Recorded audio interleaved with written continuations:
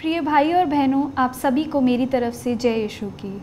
आज का विषय है कि कैसे हम मसीह या परमेश्वर के द्वारा अपनी समस्याओं और दिक्कतों, परेशानियों को कैसे पार कर सकते हैं? ओवरकम थ्रू क्राइस्ट इस परेशानी या दिक्कतों से निकलने के लिए हम लोग अक्सर अंधकार की ओर बढ़ जाते हैं। हम कोशिश करते हैं कि अपने आप को किस प्रकार ढक के चलें कि लोग हमें देख ना पाएँ। हमारी समस्याओं को या दिक्कतों को पहचान कर हम लोगों को कमज़ोर ना ठहरा पाएँ। तो हम क्या करते हैं? मसीह से या परमेश्वर से दूर जाने की कोशिश करते हैं। हम कोशिश करते हैं कि हम ऐसी जगह पर पहुँच जाएँ या इन, उन लोगों से विचार करने की कोशिश करते हैं जो शायद हमें समझे। लेकिन असल में ऐसा नहीं होता। हम अपनी परेशानियों को लेकर प्रभु से दूर जाने की कोशिश करते हैं। हम कोशिश करते हैं कि हमें कोई देख ना पाए, हमारी समस्याओं को हमें कवर करने की कोशिश करते हैं। लेकिन असल में क्या होता है, जब हम अपनी समस्याओं को, परेशानियों को कवर करने की कोशिश करते हैं, उनको ढकने की कोशिश करते हैं, वो ढकती नहीं है, वो बढ़ती रहती हैं समय के साथ। और वो अंदर ही अंदर आपके मन में एक गुबार बनता जाता है। लेकिन सच ये है कि अगर हम अपनी समस्याओं को परमेश्वर के पास लेकर आते हैं और उनके सामने अपनी समस्याओं को रखते हैं, जैसे परमेश्वर कहते भी हैं कि जब आप खटखटाओगे तो आपके लिए खोला जाएगा। लेकिन समस्याओं में हम क्या करते हैं? सिर्फ़ अपने आप को एक कमरे में, ऐसी जगह पर बंद करने की कोशिश करते हैं जहाँ पर कोई और ना आ सकता है। तो हम जब परमेश्वर से बात करने की कोशिश करते हैं, तब हम कनेक्ट ही नहीं कर पाते। क्यों? क्योंकि हम हमेशा दुख में परमेश्वर को याद करते हैं। हम हमेशा कोशिश करते हैं कि परमेश्वर हमारे लिए सब कुछ समझ जाए खुद ही। हम, हमें कुछ बोलने की उनको ज़रूरत ना पड़े। हमें कुछ समझाने की उन्हें ज़रूरत ना पड़े। लेकिन परमेश्वर सब जानता है और परमेश्वर हमेशा कहता है कि अगर कोई मेरे नाम से मुझे पुकारता है तो मैं हमेशा उसकी बात सुनता हूँ। लेकिन हमारे अंदर आजकल वो हिम्मत ही नहीं रही है कि हम परमेश्वर का नाम पुकार पाएँ। हम कोशिश करते हैं कि अपनी समस्याओं को डॉक्टर्स के माध्यम से सॉल्व करें। आजकल जो डिप्रेशन की समस्याएँ वो बहुत ही ज़्यादा कॉमन हो गई है। इतनी कॉमन हो गई है कि जैसे ब्लड प्रेशर डायबिटीज़ इस तरीके की प्रॉब्लम्स कॉमन हैं, उसी प्रकार डिप्रेशन भी बहुत कॉमन है। लेकिन हम वो डिप्रेशन को इतना कॉमन नहीं लेते हैं कि हम कोशिश करते हैं कि हम डॉक्टर्स के पास जाना अवॉइड करें। लेकिन जब बहुत ज़्यादा एक्सटेंड हो जाती है प्रॉब्लम हम जाते हैं डॉक्टर्स के पास और तब हमें सोल्यूशन नहीं मिलता। हम थेरेपीज़ लेते हैं। एक के बाद एक एक के बाद एक। लेकिन वो सेशंस में, उन थेरेपीज़ में हम लोगों को उतना डिफरेंस नहीं दिखता। और जो ये थेरेपीज़ और ये सेशंस होते हैं, उसमें डॉक्टर्स और कुछ नहीं, आपके अंदर जो बातें फंसी हुई हैं, आपके अंदर जो बातें आपको लगी हैं, चुभी हैं, उन सब बातों को आप कैसे बाहर निकाल सकते हैं, वही कोशिश करते हैं। आपको वो दवाइयाँ देंगे ताकि आपका हेडेक कम हो जाएगा। लेकिन आपकी समस्याएँ ख़त्म नहीं होगी। ऐसी कोई दवाई नहीं बनी है इस दुनिया में जो आपकी समस्याओं, आपकी प्रॉब्लम्स को कम कर सके। वो आपके पेन को ज़रूर कम कर देगी कुछ समय के लिए, लेकिन उसे ख़त्म नहीं कर सकती। लेकिन प्रभु, हमारे प्रभु ही एकमात्र ऐसा सल्यूशन है, ऐसी दवाई है हम लोगों के लिए, हमारी आत्मा के लिए जो हम, कि उस, जो समस्या हैं उसको अपनी आत्मा तक से ख़त्म कर सकते हैं।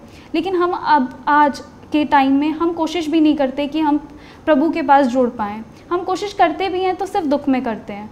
सुख में हम नहीं करते हैं। हम सुख में ज़रूर दोस्तों से मिलेंगे, एक दूसरे को अपनी खुशियाँ बताएँगे कि आज मुझे जॉब मिल गई है, या आज मैंने बहुत बड़ा घर ले लिया है अलग अलग तरीके की खुशियाँ शेयर करेंगे लेकिन जब दुख की बारी आती है हम अपने आप को क्लोज कर लेते हैं। हम ज़्यादा लोगों को बताते ही नहीं है कि हमें समस्या है हमें परेशानी है। और आजकल डिप्रेशन इतनी कॉमन समस्या हो गई है कि हम युवाओं के लिए हम कोशिश भी नहीं करते कि हम अपने पेरेंट्स तक से शेयर कर पाएँ।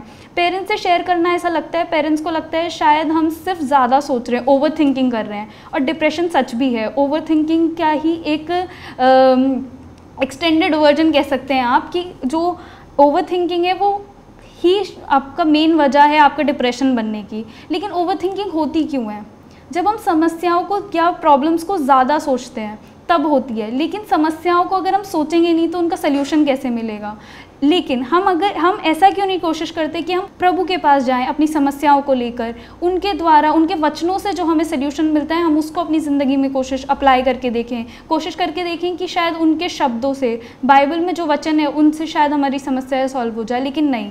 हम क्या करते हैं? उन लोगों को कॉन्टैक्ट करते हैं जो ऑलरेडी समस्याओं में घिरे होते हैं। और वो क्या करते हैं? वो आप लोगों को वो बताएँगे जो सच में उन लोगों ने भी एक्सपीरियंस करके देखा है। हिट एक हिट एंड ट्रायल मेथड करते हैं कि आज हम एक इंसान के पास गए हैं, उसके पास अपनी सल्यूशन होगा। कल हम दूसरे इंसान के पास जाएँगे, उनके पास अपना सल्यूशन होगा। लेकिन किसी के पास ऐसा कोई प्रूवन वे नहीं है कि आप उस समस्या से बाहर निकल सकते हो। लेकिन सच में ऐसा होता है। मैंने खुद एक्सपीरियंस करा है। मैं अपना उदाहरण दूँ। तो मैं एक बहुत छोटी एज में मैंने अपने पापा को खो दिया और उस समय ओवर थिंकिंग और डिप्रेशन क्योंकि मैं बहुत ज़्यादा पैम्पर्ड चाइल्ड थी तो मुझे ऐसा लगता था कि आ, मतलब एक दुनिया में एक बहुत बड़ा होल हो गया है और मैं उस होल में नीचे गिरती जा रही हूँ।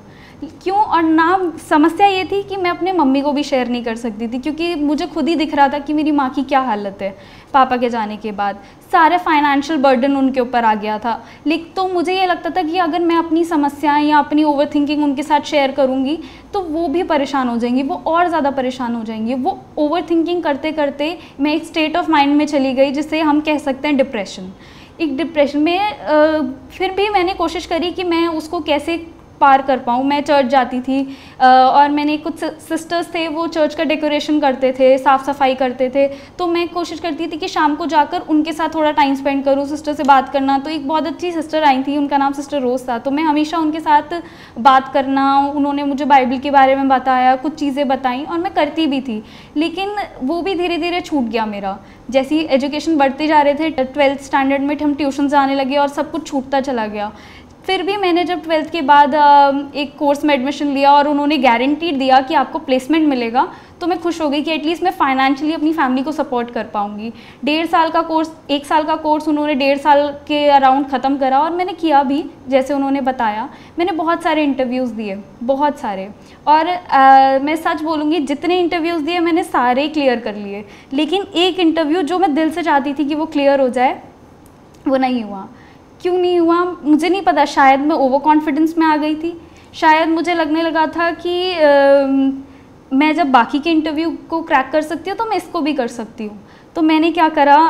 इंटरव्यू देने गई मैं और बहुत कॉन्फिडेंस से मैंने उनको आंसर दिए। बट वहाँ जाके मुझे पता चला कि आप इंटरव्यूज़ में मैं एक आपको सच बताऊँ तो मैं एक कैबिन क्रू का कोर्स कर रही थी। और मैंने जब वो आ, बहुत सारे जब इंटरव्यूज़ दिए तो मैंने एविएशन के दिए, मैंने आपको, मैंने होटल्स के दिए, मैंने ट्रैवल एजेंसीज़ के दिए और मैंने ट्रैवल और होटल्स के सारे जो इंटरव्यूज़ थे वो सब क्लियर कर लिए। लास्ट में मेरे पास दो इंटरव्यूज़ के ऑप्शन थे, एक स्पाइस जेट दूसरा ले मेरीडियन गुड़गांव होटल सो मैंने होटल का इंटरव्यू क्लियर कर लिया। सो so, जब मैं इंटरव्यू देने के लिए गई तो लास्ट में मेरे दो इंटरव्यूज़ बचे थे। एक मेरे पास था ऑप्शन होटल का जो था ले मेरिडियन गुड़गांव और दूसरा था मेरे पास स्पाइस जेट और मैं बहुत दिल से कैबिन क्रू बनना चाहती थी। uh, मुझे बहुत शौक था तैयार होने का जिस तरीके से कैबिन क्रू तैयार होते हैं। मुझे बहुत शौक था और उनकी सच में बहुत अट्रैक्टिव सैलरीज़ होती हैं। तो उन लोगों ने हमें इस तरीके के उसमें डाल दिया कि हम लोग सच में वो क्लियर कर लेंगे। मैंने बहुत कॉन्फिडेंस से जाकर दोनों इंटरव्यूज़ दिए। एक सैटरडे को था, एक संडे को था। जो जो सैटरडे वाला इंटरव्यू था, उसका रिज़ल्ट मंडे को आने वाला था। और संडे वाला मेरा मेरा, जो मैं चाहती थी कि ये इंटरव्यू क्लियर हो जाए, वो संडे को था। तो मैंने दोनों इंटरव्यूज़ दिए रेगुलरली और मुझे लगा कि शायद वो क्लियर हो जाएगा। लेकिन मुझे ये आइडिया भी नहीं था कि मैंने नाइन राउंड्स लिए मेरिडियन के। एक दिन में सारे दे दिए। और जो सेकंड डे था उसमें छः राउंड्स थे कैबिन क्रू वाले में जिसमें मैंने उन्होंने मुझे सेकंड राउंड में ही बाहर कर दिया। तो आ, मुझे उम्मीद भी नहीं थी कि मैं सेकंड राउंड में बाहर हो जाऊँगी क्योंकि मैं ऑलमोस्ट 25 जॉब पहले छोड़कर आई हूँ इस इंटरव्यू के लिए और उन्होंने मुझे सेकेंड राउंड में ही आउट कर दिया। और मुझे बहुत ज़्यादा फील हुआ कि मैंने ऐसा क्या बोल दिया, या ऐसा क्या हुआ। बाद में मुझे पता चला, जिन आठ लड़कियों को आगे वो लेकर गए थे राउंड थर्ड राउंड के लिए, उनमें से छः लड़कियाँ ऐसी थी, जिनका ऑलरेडी एविएशन से पहले बैकग्राउंड रह चुका है। उनके फैमिली मेंबर्स एविएशन बैकग्राउंड से हैं तो इसीलिए उन्होंने सेलेक्ट करा। बेसिकली पार्शलिटी हुई। तो हम लोगों को रियलाइज़ नहीं हुआ। बाद में जाके हम लोगों को इन्फॉर्म किया गया मंडे को कि ऐसे ऐसे हुआ। मुझे दोस्तों से बात की। तो उन्होंने बताया कि ये तो पार्शलिटी हुई है। पहले से ही उन लोगों को उनका सोर्सेज थे तो उन, उनको इंटरव्यू मिल गया। तो उस दिन मैंने बहुत ज़्यादा फील करा मतलब रियलाइज़ करा कि हम ओवर कॉन्फिडेंस के चक्कर में हम अपने चीज़ों के चक्कर में हम कहीं ना कहीं अपने परमेश्वर को ही भूल जाते हैं। मैं जब इंटरव्यू देने के लिए जा रही थी, मैं बाकी इंटरव्यू में ज़रूर बाइबल खोलकर कम से कम एक चैप्टर पढ़ के या फिर मैं अच्छे से प्रेयर करके मैं जाती थी। लेकिन क्या हुआ जिस दिन मैं एक बहुत ज़्यादा एक्साइटेड थी, उस दिन मैं प्रेयर ही नहीं करी। दो दिन मैंने प्रेयर नहीं करी, क्योंकि मुझे पता था ये तो मैं जब मैं ऑलरेडी 25 इंटरव्यू पहले क्लियर कर चुकी हूँ तो ये ये दो क्या हैं, ये भी मैं क्लियर कर लूँगी, लेकिन ऐसा सच में हुआ नहीं। तो जब मैं रोने लगी वापस आते हुए मेट्रो में, मैंने अपने घर पे मम्मी को फ़ोन करा, मैंने, मैं रो रही थी, मम्मी ने पूछा, क्या हुआ? मैंने बोला, मम्मी, मेरा इंटरव्यू नहीं क्लियर हुआ। तो मम्मी ने बोला, कोई बात नहीं, दूसरा दे दियो, हो जाएगा। तो ऐसा कुछ नहीं है। मैं बहुत रोई, रोती रही रोती रही रोती रही रोती रही और, फिर भी मैंने सोचा कि ठीक है, अब नहीं हुआ है तो मैं ले मेरिडियन गुड़गांव ज्वाइन कर लेती हूँ। उसमें भी ठीक ठाक पैकेज वो मुझे ऑफ़र कर रहे थे फ्रंट डेस्क के लिए। तो मैंने सोचा कि ठीक है, जब तक नहीं होता एविएशन में, मैं कर लेती हूँ। बट देन अचानक से एक एक स्टेट ऑफ़ माइंड में चली गई मैं कि मैं रात को सोती नहीं थी।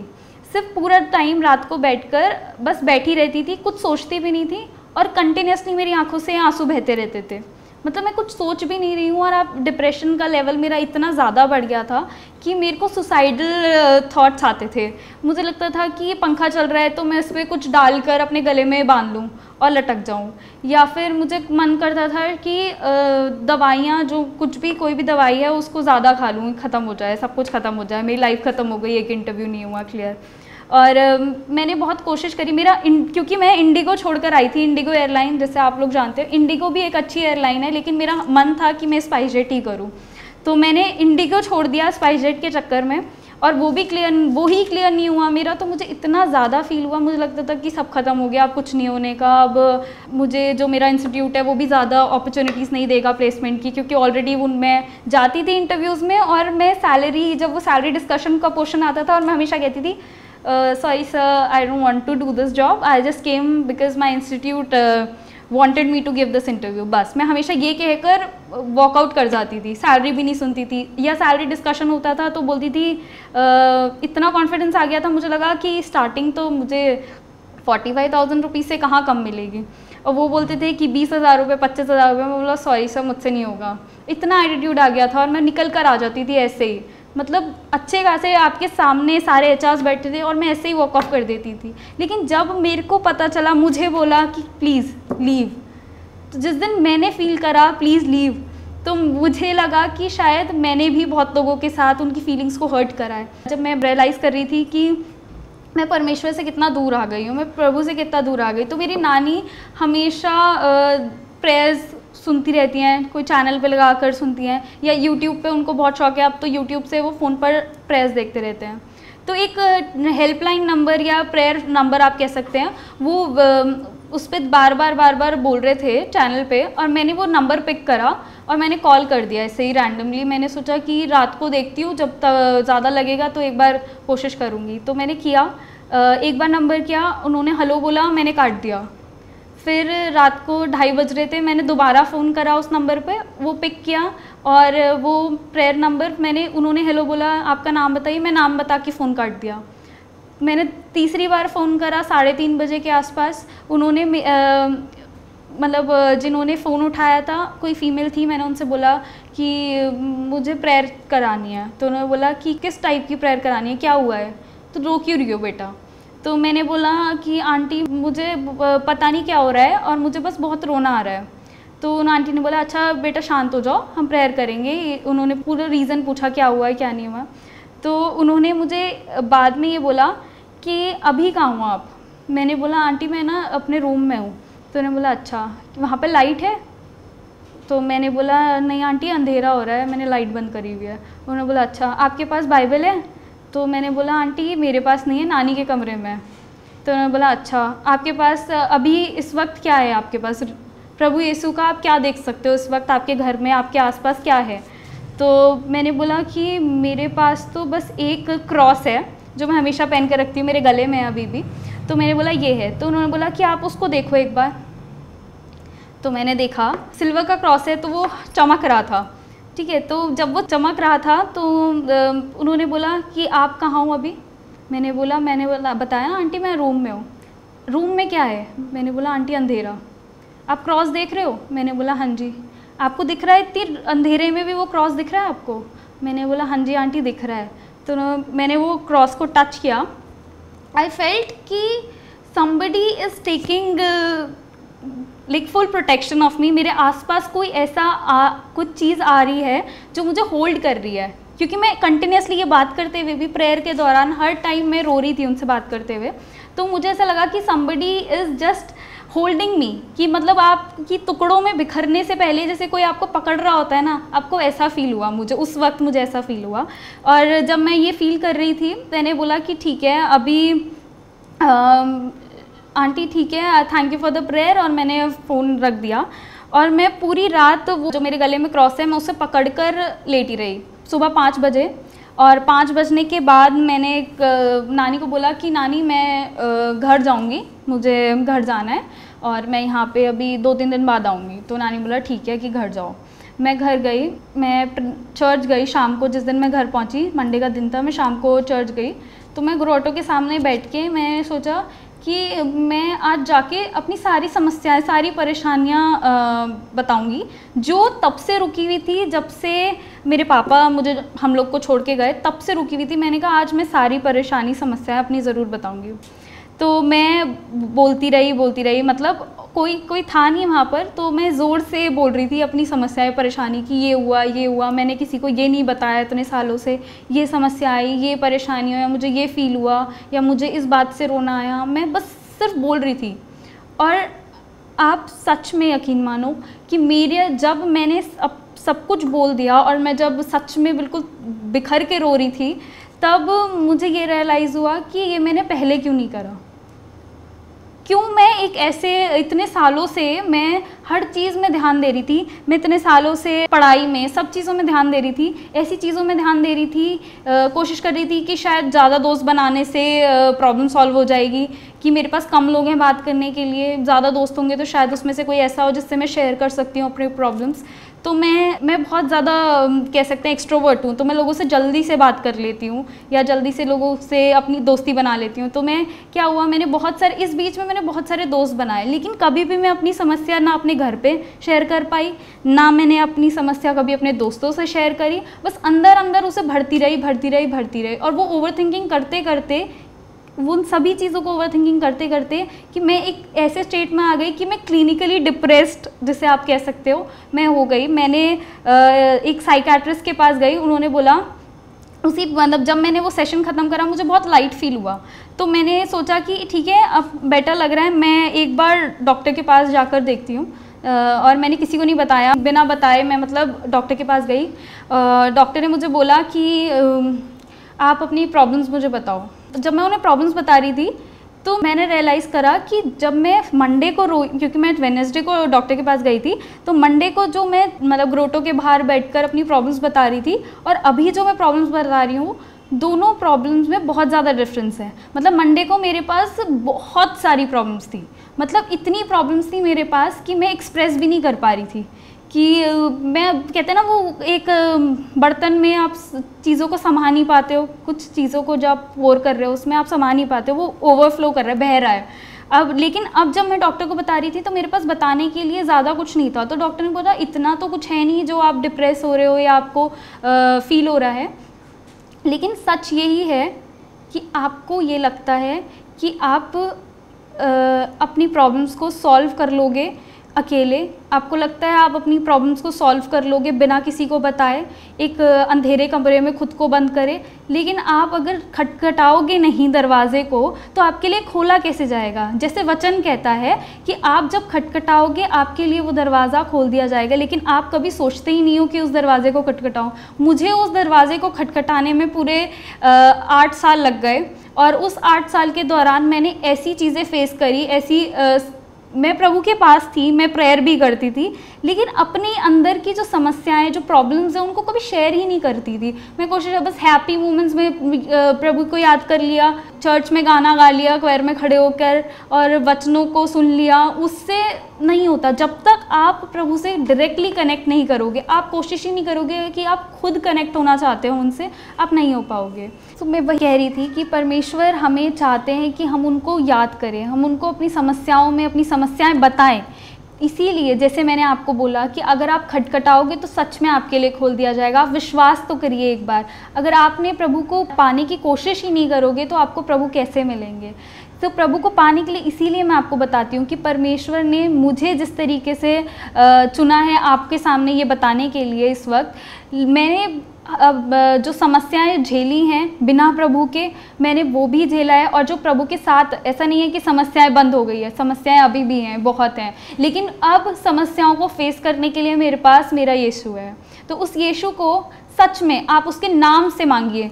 अगर आप उसके नाम से मांगेंगे, अपनी समस्याएँ उसके पास लाएँगे, अपना दिल खोलकर उसके सामने रख देंगे सच में, विश्वास कीजिए, वो आपको, आपकी समस्याओं से निकलने का रास्ता देगा। आपको वो लाइट देगा, वो अंधेरे कमरे में वो लाइट देगा, ऐसी लाइट देगा कि आपका जो लाइफ है, आपका जो वे ऑफ़ थिंकिंग है, वो चेंज हो जाएगा। आप लोगों के बारे में वैसा नहीं सोचेंगे जैसे आप सोचते हो। हम क्या करते हैं, हम लोगों के बारे में सोचते हैं कि वो ऐसा है, उसने ये किया, उसने वो किया, उस वो वो सोचता है, वो उसका थिंकिंग ये है, वो ऐसे चलता है, वो ऐसे बैठता है। हम उसमें उसकी भलाई नहीं देखते, हम उसमें उसकी अच्छाई नहीं देखते, जो परमेश्वर ने हम सबके अंदर कुछ ना कुछ अच्छाई छोड़ी है। आप विश्वास कीजिए कि परमेश्वर आपके साथ है और हर व्यक्ति में जो आपके सामने है, जो आपके साथ बुरा कर रहा है या आपके, आपको नीचे गिराना चाहता है, उन सभी में परमेश्वर बसे हुए हैं। अगर आप अपने प्रभु को याद करेंगे, उनका स्मरण करते हुए अगर आप अपनी ज़िंदगी को व्यतीत करने की कोशिश करेंगे ट्रस्ट मी आपको वो पावर फील होगी। आप इतने पावरफुल फील करोगे कि आप मैं आज आपके सामने यहाँ खड़ी हूँ सिर्फ़ उसी पावर की वजह से। उसी पावर की वजह से जो मैंने फील किया है, मेरे अंदर है और वो हमेशा मेरे साथ रहेगी, मैं विश्वास करती हूँ। और मैं चाहती हूँ कि आप भी उसी प्रकार परमेश्वर पर विश्वास करें, उसी प्रकार उनको अपना अपना खुद का पिता, अपना खुद का स्वामी समझे बार बार बार बार अपनी समस्याओं को बताकर, उनको हर चीज़ में याद करके, सुख में, दुख में, हर चीज़ में, दिक्कतों में अगर आप उनको याद करोगे, वो आपके पास उस सबसे पहले आएँगे। और वो ऐसे हैं कि अगर आपने उनको एक बार अपनी समस्या बताई, आप यकीन कीजिए, उस समस्या को निकलने का सल्यूशन आपको इतनी जल्दी मिल जाएगा ना। वो हिट एंड ट्रायल मेथड रहे, जैसा नहीं रहेगा कि आपने ये मेथड ट्राई कर लो, ऐसे सॉल्व हो जाएगा, वो मेथड ट्राई कर लो, ऐसे सॉल्व हो जाएगा, नहीं। वो मेडिसिन है, जैसे मैंने शुरू में कहा कि वो मेडिसिन है कि आपकी जो आत्मा पे जो चोट लगी है ना, जो दुख आपके आत्मा में है या आपके अंदर है, सालों साल, मेरा आठ साल पुराना, आपका शायद दस साल पुराना होगा, बीस साल पुराना वो दुख होगा, शायद वो दुख आपके दिल से निकल जाए। आप प्रभु के वचनों पर विश्वास कीजिए। प्रभु का वचन आपको सच में जीने की नई वजह देगा, जैसे मुझे दी है। आपको सच में जीने की नई वजह देगा। जैसे हम अलग अलग वचनों के हम अलग अलग समस्याओं में ये डर में अपने आप को घेरे हुए हैं अलग अलग तरीके का फेलियर का डर, छोड़े जाने का डर, अकेले रह जाने का डर अलग अलग तरीके के डर हम लोग के दिल में बसे हुए हैं। लेकिन अगर आप परमेश्वर को अपना समझेंगे, उनको समझेंगे कि वो आपके पास हैं या आप ही के हैं तो सच में आप अपने आप को अकेला फील नहीं करेंगे, आप अपने आप को डिप्रेस फील नहीं करेंगे। आपके पास एक ऐसा दोस्त होगा जो एवरी टाइम आपके पास अवेलेबल होगा, जिससे आप अपनी सारी समस्याएँ बता सकते हो और आपका सल्यूशन भी उस मिलेगा। मैं आप सभी के सामने इन दो वचनों को भी बताना चाहूँगी जो सच में आपकी ज़िंदगी बदल देंगे। पहला कि थके मांदे और बोझ से दबे हुए लोगों आप सभी मेरे पास आओ और मैं आपको विश्राम दूँगा। प्रभु, इस वचन से आपको यही कहना चाहते हैं, अपनी समस्याओं को, अपनी दुख को, परेशानी को उन तक पहुंचाइए। उनको बोलिए और वो आपको सच में आराम देंगे। ऐसा आराम जो आपको उन दवाइयों से नहीं मिलेगा जो आप डॉक्टर से लेते आए हैं, या उन थेरेपीज से नहीं मिलेगा जो आप सेशंस घंटों घंटों डॉक्टर्स के पास स्पेंड कर रहे हैं। और आपको खुद ऐसा फील होगा, इतना रिलैक्स फील होगा कि आप उन समस्याओं से निकल सकते हैं। हम अगर पश्चाताप करेंगे, ऐसा नहीं है कि आपके साथ ही गलत हुआ हो। कभी कभी क्या होता है, जब हम गलत करते हैं और हमें, हम तब भी अपने आप को विक्टम समझते हैं। सामने वाला इंसान अपने आप को विक्टम समझता है, हम अपने आप को विक्टम समझते हैं कुछ सिचुएशंस में। लेकिन नहीं, आप अपने सभी पापों के लिए परमेश्वर से सच में क्षमा मांगिए। क्यों? क्योंकि वचन कहता है कि जो निन्यानवे धर्मी हैं, वो प्रभु का जो राज्य है, उसमें नहीं जा सकते। लेकिन एक पश्चातापी व्यक्ति प्रभु के राज्य में जा सकता है। आप विश्वास कीजिए और प्रभु को अपना सच्चा दोस्त समझिए ताकि प्रभु आपको अपना सच्चा दोस्त समझ सके और आपको उतना प्यार और केयर दे सके जितना आपको इस दुनिया में कोई नहीं दे इसी प्रकार हम प्रभु से प्रार्थना कर सकते हैं कि वो आपको अपने डिप्रेशन से अपनी समस्याओं से अपनी एनजाइटी से अपने प्रेशर से निकाल पाए और आपको वो शांति या सुख दे पाए। आप प्रभु पर विश्वास कीजिए और प्रभु आपको उन समस्याओं से निकलने का सोल्यूशन ज़रूर देंगे। सो so, आप सभी को मेरी तरफ़ से जय यशु।